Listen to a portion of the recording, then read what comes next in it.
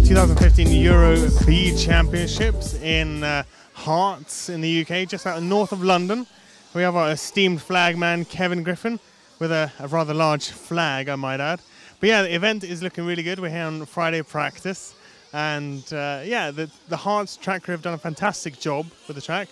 As you can see, a couple of AstroTurf sections right over here. Slightly bumpy entry to the straight. Not doing a track walk with you, just going to talk with a few random key people around here, drivers and different personalities.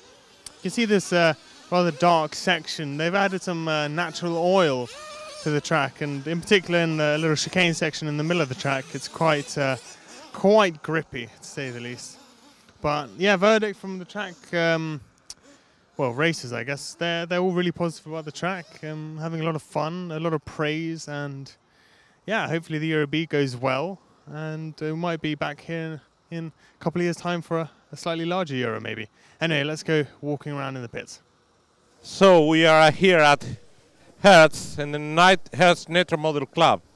Uh, this is the home for this Euro B here in the UK, and uh, I have to say, from uh, from EFRA point of view, that talking with many drivers coming from many different countries, that most of them are absolutely happy with the venue and with all the facilities, and they love the track. They really love the track. So I have heard from some Britons say, what is your opinion about this venue for ECA? And I have to say the same as Chile. Uh, do it well on this event, and your chances to be the host for ECA will improve for sure.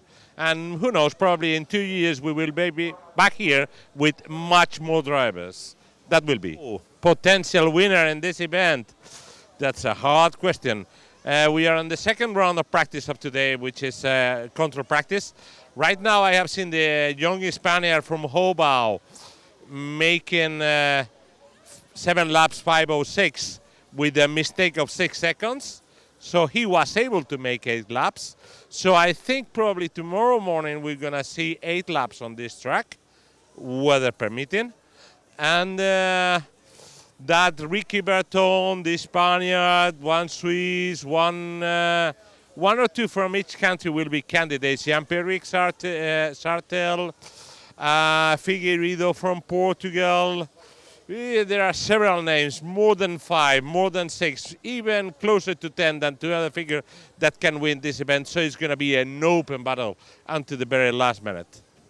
That's it.